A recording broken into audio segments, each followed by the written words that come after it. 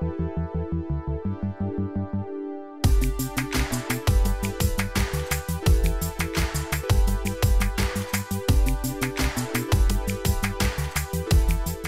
thing I miss about Imperial is the friends, my staff, um, the buildings, everyone's so and I'm really happy to have graduated today.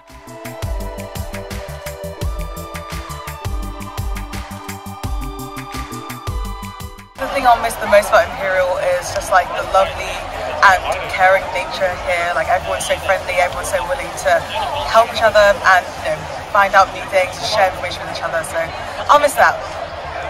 This most about what I've met here. The thing I'll probably miss most is living in London and being in South Kensington. Uh, I think I'm going to miss uh, mostly all, all the friends, all the friends I've made uh, on firms, through societies, and sports, and does stuff as well. Yeah. My Favorite memory of Imperial was today in graduation. My favorite memory of Imperial was working with amazing people and good projects. My favorite memory of Imperial was meeting these